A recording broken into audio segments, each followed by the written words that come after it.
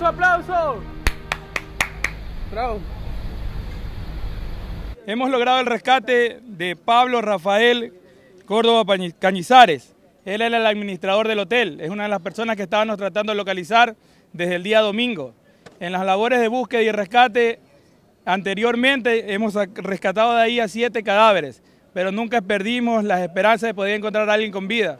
El día de hoy, a través de un familiar, logrado él hacer una llamada telefónica, hemos eh, determinado un plan de acción en conjunto con los amigos de Bomberos de Colombia, de Bogotá, determinamos tres frentes de entrada, ingresamos por los tres hasta que lo pudimos localizar. Una vez localizado se ha utilizado equipos especializados para poderlo liberar de donde se encontraba la estructura colapsada.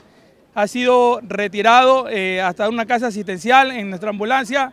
Ya fue, va con un médico siendo atendido, está, muy, está consciente, está consciente. Nos acaba de referir que en, en la pareja, en el hotel, habían cinco personas, de los cuales nosotros, de esos huéspedes que hemos rescatado, hemos, vamos tres. Significa que con la información que obtuvimos de él, es posible que todavía tengamos adentro dos personas más, por lo cual la búsqueda y el rescate va a continuar en el lugar. ¿Qué se siente salvar una vida? Vale, Fuerza de Bomberos de Bogotá, eh, Sargento Edison Morales, eh, estamos felices. Ese es el mejor pago que nosotros tenemos al venir a colaborar a una, a una comunidad hermana. Es un, solo, es, un solo, es un solo lema de nosotros y es salvar vidas. Agradecidos con, con nuestros compañeros y pues nada, se cumple la labor. Bomberos Bogotá. Gracias Colombia, ¡Viva